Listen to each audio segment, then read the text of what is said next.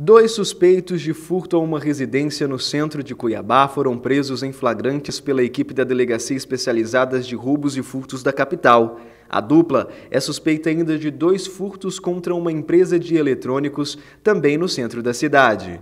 O primeiro suspeito disse aos policiais que entrou no imóvel durante a madrugada com auxílio do comparsa que ficou vigiando a rua. Sobre os produtos levados da casa, a dupla informou que vendeu em um ponto de prostituição.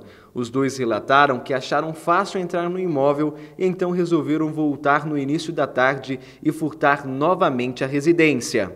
A vítima relatou que acordou na manhã de segunda-feira e viu que a porta dos fundos da residência estava arrombada e alguns objetos da casa foram levados. A moradora informou ainda que saiu para trabalhar e, quando voltou à sua residência, foi alertada por um vizinho que viu uma pessoa sair do local levando alguns objetos. Ao entrar no imóvel, ela encontrou móveis revirados pela segunda vez no mesmo dia. Os dois foram autuados em flagrantes pelo delegado delegado Guilherme Bertoli pelo crime de furto qualificado. De acordo com o delegado, a dupla é conhecida na prática de crimes contra o patrimônio com uma extensa ficha criminal e diversos registros por furto, roubo, ameaça, desobediência, disparos de arma de fogo e tráfico de drogas.